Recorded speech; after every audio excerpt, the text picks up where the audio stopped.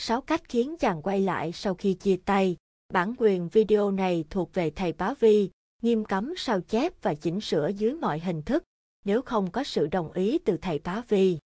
Nhiều cô nàng trong tình trạng bế tắc, không biết phải làm gì khi bồng bột chia tay hoặc khi bị chàng rời xa. Lúc này bạn đừng lo lắng quá, dưới đây sẽ là tổng hợp các cách khiến chàng quay lại sau khi chia tay bạn ngay lập tức. Hãy tham khảo những bí quyết dưới đây để cải thiện mối quan hệ của chính mình nhé. 1. Xác định lý do chia tay trong tình yêu của mình là gì? Khi chia tay người yêu, có khi nào bạn tự nghĩ lại cảm thấy hối hận vì đã bồng bột buông ra những lời cay đắng và giờ thì bạn chỉ muốn níu kéo chàng. Nếu bạn đang trong thế bế tắc, không biết phải làm sao để chàng quay lại sau khi chia tay thì bạn cần hiểu rõ nguyên nhân khiến hai bạn chia tay là gì. Khi tình yêu kết thúc, nhiều người cho rằng việc xem lại ai là người chủ động nói ra lời chia tay sẽ chẳng có ích lợi gì. Tuy nhiên, câu hỏi ai là người nói chia tay lại chính là mấu chốt quan trọng để bạn cứu vãn cuộc tình của mình. Nếu bạn là người chủ động chia tay, nhưng sau đó bạn lại tự dằn vặt và cảm thấy bạn thấy vẫn nhớ thương người cũ mà muốn quay lại thì trước hết bạn hãy suy nghĩ kỹ lại. Nếu không chàng sẽ nghĩ bạn thay đổi nhanh như bánh tráng và bạn làm như vậy chỉ khiến bạn trai của mình sớm rời bỏ bạn. Trường hợp chàng là người chia tay bạn trước thì bạn hãy kiên nhẫn gạt qua cái tôi của bản thân xoay chuyển tình thế khác đi. Bạn có thể không biết chắc chắn bản thân có thành công hay không, nhưng với sự kiên nhẫn này cùng là một cách để khiến chàng quay lại. 2. Nếu chàng nói chia tay, bạn đừng níu kéo mà hãy tỏ ra lạnh lùng.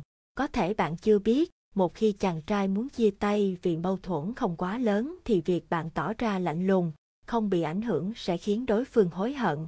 Và lúc này có lẽ chàng sẽ tự quay lại xin lỗi bạn mà không cần bạn phải lên tiếng. Trường hợp bạn có thể hiện tình cảm với đối phương như năn nỉ, khóc lóc, ỉ ôi thì chắc chắn sẽ khiến tình hình trở nên tồi tệ hơn. Việc bạn làm sẽ chỉ khiến chàng cảm thấy mệt mỏi và cho rằng quyết định chia là chính xác.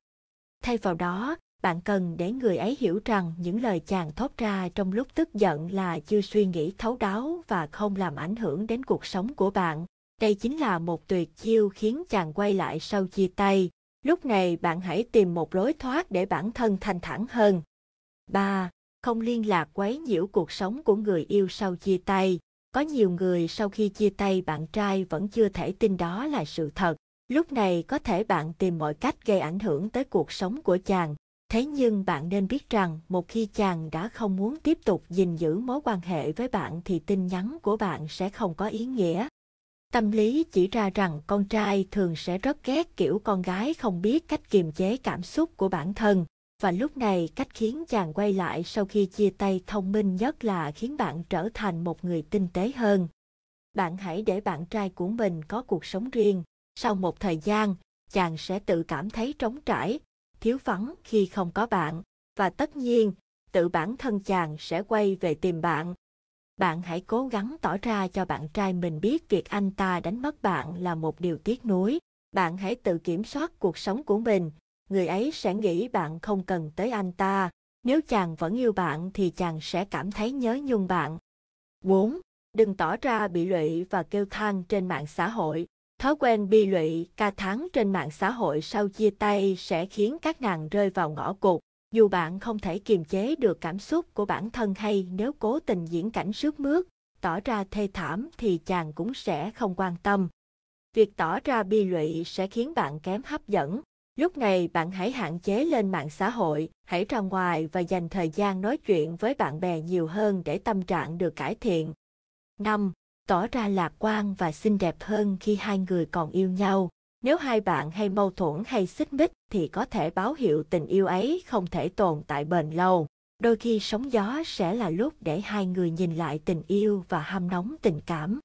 Bạn đừng cho chia tay là hết, đừng u sầu, có thể bạn vẫn cứ giữ tình bạn với chàng. Nếu có duyên thì tình yêu của hai bạn sẽ quay trở lại với nhau. Bạn hãy chăm chút bản thân xinh đẹp hơn, đây là cách khiến chàng quay lại sau khi chia tay khá hiệu nghiệm.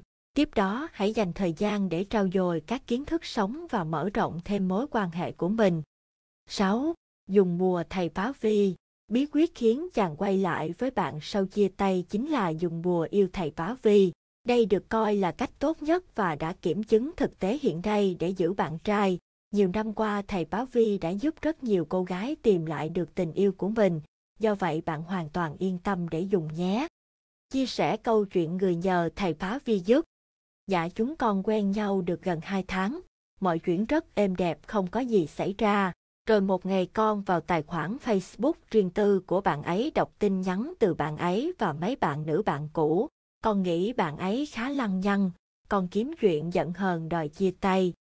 Bạn ấy có qua kiếm con để nói chuyện, nhưng bạn ấy có vẻ không nếu kéo.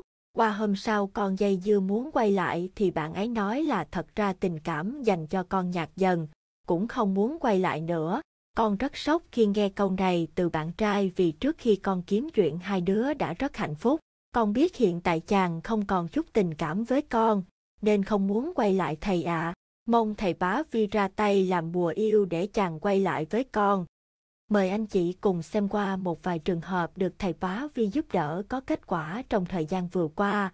Hãy xem và cảm nhận nếu mình là một trong số những người đã được thầy bá vi giúp đó thì sẽ như thế nào nhé. Nếu thấy video này hữu ích, anh chị hãy like và chia sẻ để nhiều người cùng được biết những thông tin có ích này nhé.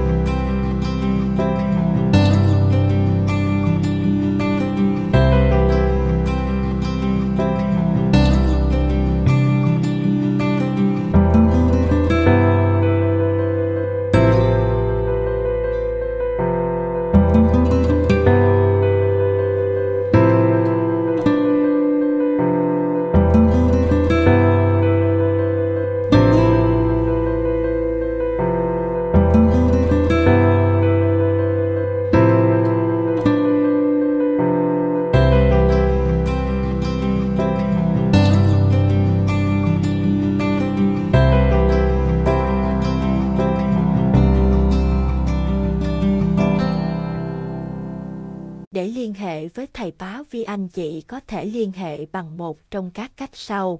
Một liên hệ qua Zalo. Anh chị vào Zalo tìm theo số điện thoại 0866966335 kết bạn Zalo với thầy báo vi. Hai liên hệ qua Facebook.